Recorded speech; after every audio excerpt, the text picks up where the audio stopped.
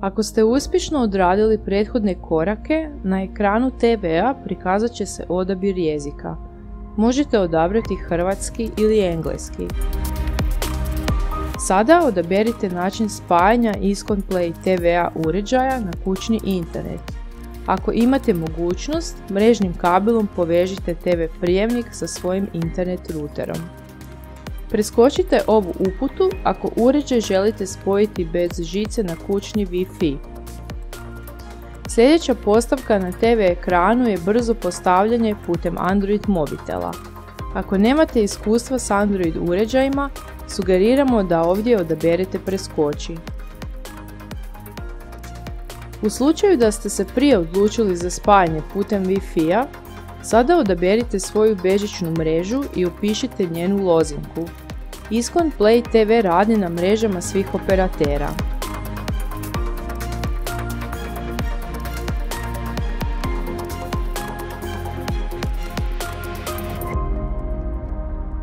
Prijavite se vlastiti Google računom. Ovaj korak potreban je za korištenje aplikacije iz Google Play trgovine. Pričekajte da se Google račun poveže. Prihvatite uvjete korištenja. Prihvatite dodatne informacije i prođite kroz podatke dostupne na ekranu.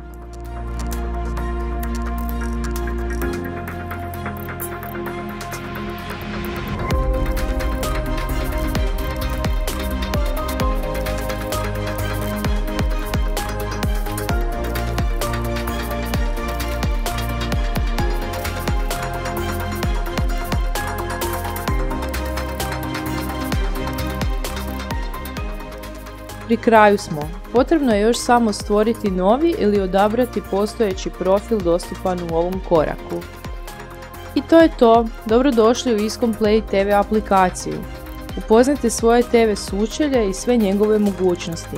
Pretraživanje sadržaja, preporuke, pauziranje, prematanje. Uz odabrane TV programe na svoj Iskom Play TV možete po želji instalirati druge aplikacije iz Google Play trgovine. Uživajte u usluzi!